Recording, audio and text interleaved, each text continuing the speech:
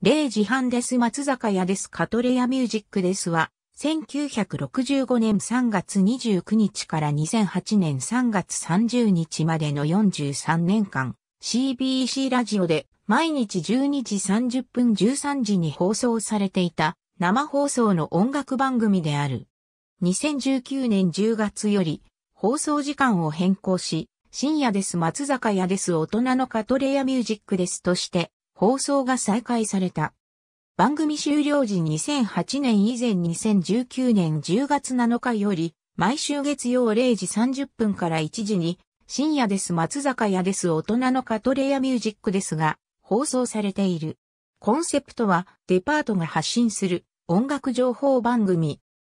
過去のコーナーハット ABCD 愛知帰ってきた、カトレアミュージック月曜深夜に、OA2020 年11月13日閲覧、松坂屋が定休日の場合は CBC のスタジオから放送、漫画松坂屋物語、江戸時代から400年より2008年3月14日付、中日新聞34面より小堀は、当日7時から自身が担当する小堀正系の新栄トークジャンボリーがあるが、終了後駆けつけた。CBC ラジオ2019年秋改編9、30から CBC ラジオ2019年9月26日、更新2019年10月28日閲覧。初代司会者、日比叡一元アナウンサー団同様の形は、RKK 熊本放送、午後2時5分一寸、一服でも取られている。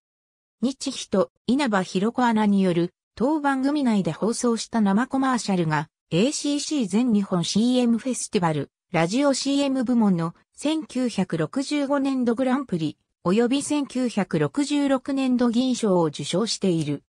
CBC ラジオ2019年10月期タイムテーブル。2019年9月25日閲覧。第79回ではその後にゲスト出演する森合康之が助演を務めた。深夜です松坂屋です大人のカトレアミュージックですに関するカテゴリー。ありがとうございます。